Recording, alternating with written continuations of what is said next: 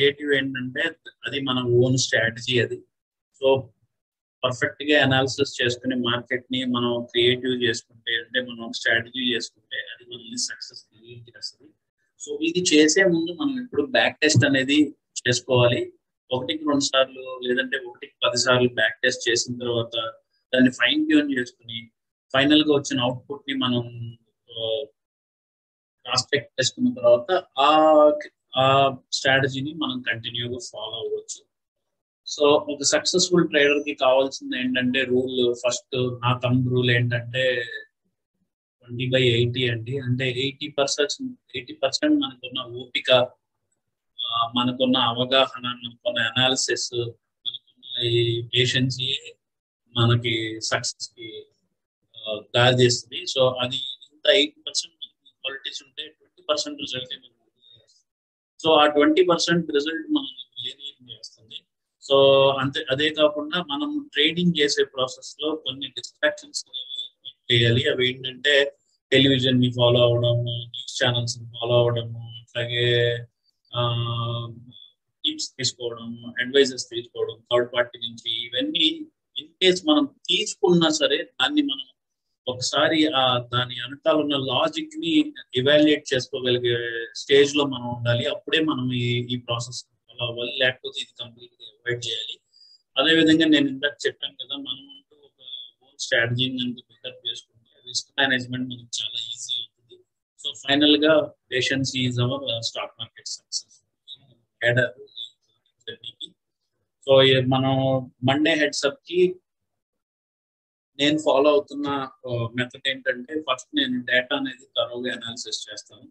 So ఈ data analysis చేయడం వల్ల మనకు వచ్చే అడ్వాంటేజ్ ఏంటంటే ట్రేడర్ సైకాలజీ ఏంటో మనకు అర్థం ఉంటుంది ట్రేడింగ్లో చాలా మంది పార్టిసిపెంట్స్ ఉంటారు. అంటే రీటైలర్స్ ఉంటారు స్కాల్పర్స్ ఉంటారు.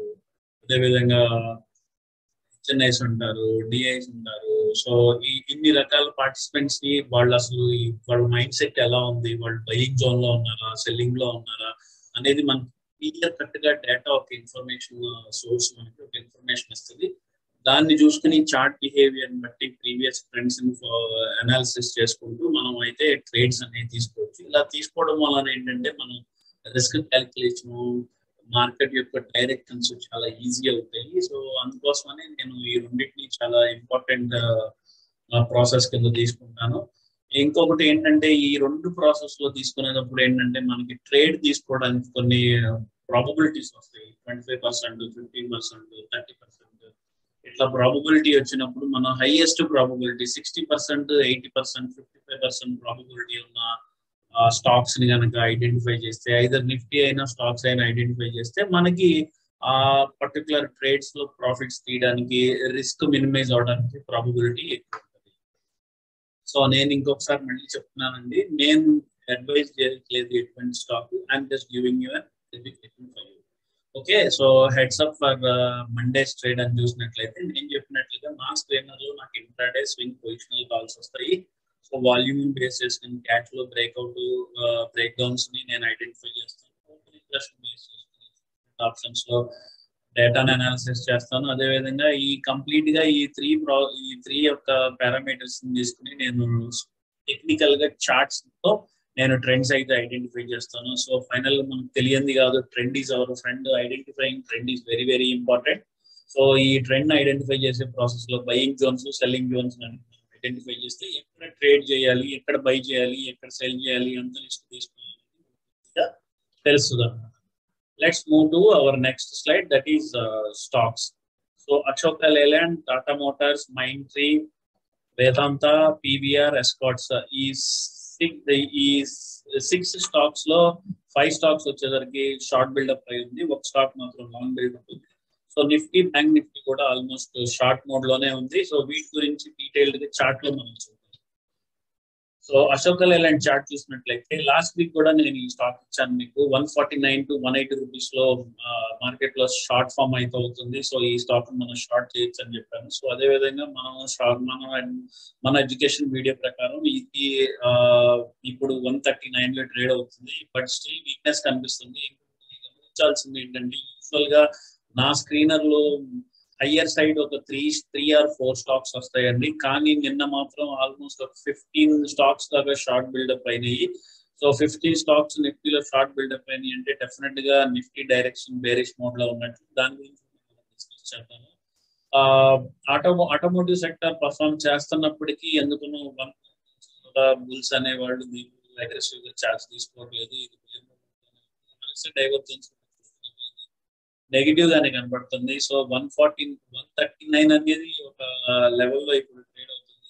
లెవెల్ కనుక మళ్ళీ బ్రేక్అవుట్ అయితే నెక్స్ట్ మనం సపోర్ట్ చూడాల్సింది సపోర్ట్ చూసుకోవాల్సింది వన్ ట్వంటీ ఫైవ్ అండి. సో మండే క్లోజింగ్ అనేది చాలా ఇంపార్టెంట్ ప్రస్తుతానికి అయితే బేరిచ్ మోడ్లో ఉంది. మండే క్లోజింగ్ బేస్ చేసుకుని పొజిషనల్గా క్యారీ చేయొచ్చా లేదా అని మనం చెప్పగలము. కానీ ఇంట్రాడే చేయాలనుకుంటే మినిమం స్టాప్ లాస్ అంటే వన్ థర్టీ నైన్గా ఉంది కాబట్టి వన్ ఫార్టీ టూ అనేది స్టాప్ లాస్ తీసుకుని దీన్ని అయితే షార్ట్ చేయొచ్చు. సో నెక్స్ట్ మనం బ్యాంక్ నిఫ్టీ గురించి మాట్లాడుతున్నాము. సో బ్యాంక్ నిఫ్టీ పర్ఫార్మెన్స్ చూస్తే లాస్ట్ నైన్ మంత్స్గా అసలు జీరో పర్ఫార్మెన్స్ అని చెప్పొచ్చు. ఎక్కడ కూడా బుల్స్ దీనిలో చార్జ్ తీసుకోవట్లేదు. ఎవ్రీ రైస్లో ఎఫ్ఐస్ అయితే సెల్లింగ్ చేస్తున్నారు. మేబీ వాళ్ళు ఇంకా మన ఫైనాన్షియల్ బ్యాంకింగ్ మీద బాగా కాన్ఫిడెంట్గా లేనట్టున్నారు.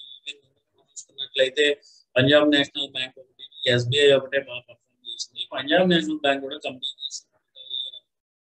ఎస్బీఐ లో కూడా అదే కనపడింది. ఆ రెండింటి మూలనే కొంచెం గవర్నమెంట్ బ్యాంక్ సెక్టర్లో ఆ రెండు స్టాక్స్ కొంచెం పాజిటివ్ ప్రైవేట్ బ్యాంకింగ్ స్టాక్స్ ఏం చూసుకున్నా సరే అన్ని షార్ట్ బిల్డప్ అయి ఉన్నాయి. సో ఈ స్టాక్ మనం చూసుకుంటే twenty days moving average sorry Nifty bank Nifty మనం చూసుకున్నట్లయితే ట్వంటీ డేస్ మూవింగ్ యావరేజ్ కింద ట్రేడ్ అవుతుంది. అలాగే ట్వంటీ మూడు డేస్ ఎక్స్పోనెన్షియల్ మూవింగ్ యావరేజ్ కూడా కిందే ఉంది. సో నెక్స్ట్ సపోర్ట్ ఇక్కడ కనుక నిలబడకపోతే నా నెక్స్ట్ సపోర్ట్ వచ్చి bank నిఫ్టీకి three five seven so Monday చాలా క్రూషియల్ డే సో ఇది మండే ఎలా తీసుకుంటుంది అనేది మనం చూద్దాము. మేబీ కమింగ్ నెక్స్ట్ ఫిబ్రవరిలో మనకి ఎలక్షన్స్ కూడా ఉన్నాయి.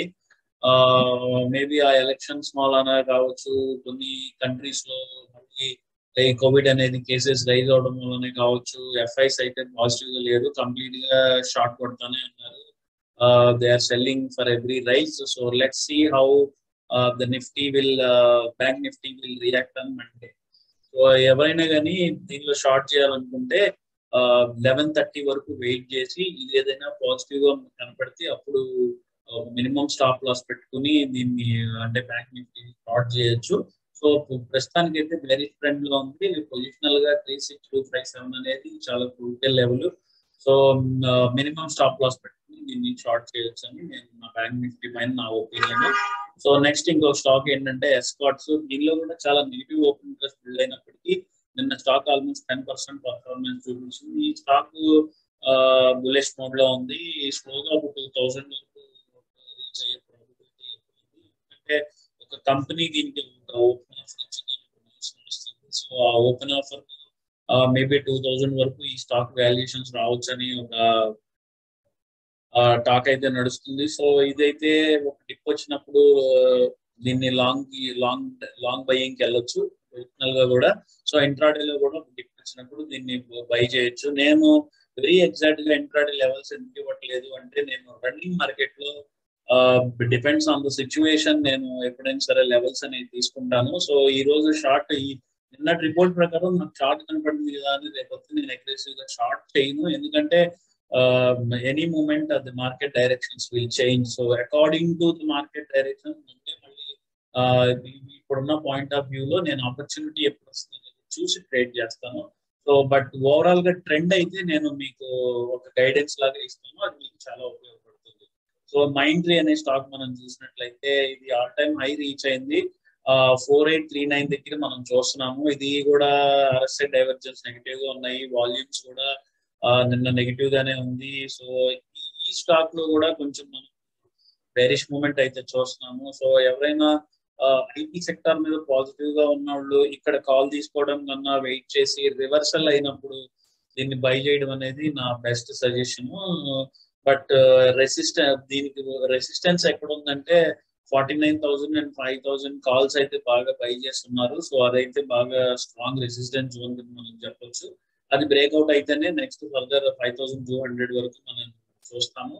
సో ప్రస్తుతానికి అయితే దీని ఈ పర్టికులర్ స్టాక్కి నెగిటివ్ ట్రెండ్ నడుస్తుంది. సో ఎవరైనా సరే షార్ట్ చేయాలి అనుకున్నప్పుడు నేను మళ్ళీ అదే చెప్తాను. So look at the opportunity in the market and you can trade మీకు అలాంటి గైడెన్స్ ఏదైనా కావాలి అనుకుంటే నేను టెలిగ్రామ్లో ఉంటాను ట్విట్టర్లో ఉంటాను. సో ఇదే ఛానల్ నా యూట్యూబ్ ఛానల్లో మీరు లింక్ చేసినట్లయితే నేను ఇమీడియట్గా ఏ జోన్లో బై చేయొచ్చు అనేది కూడా నేను నా ఎడ్యుకేషన్ ఫోరం లో పోస్ట్ చేస్తాను.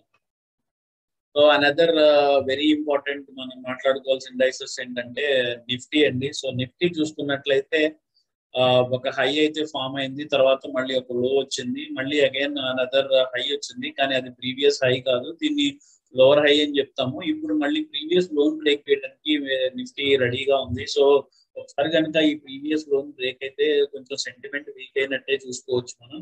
సో పొజిషనల్గా అయితే ఆ జోన్ కనుక బ్రేక్ అయితే కన్సిస్ కంటిన్యూస్గా సెల్లింగ్ అనేది కనుక జరిగితే నా లెవెల్ వచ్చి next fifteen thousand nine hundred eleven ఇది పొజిషనల్గా అండి. ఇది డైలీ బేసిస్ మీద నేను చెప్పట్లేదు.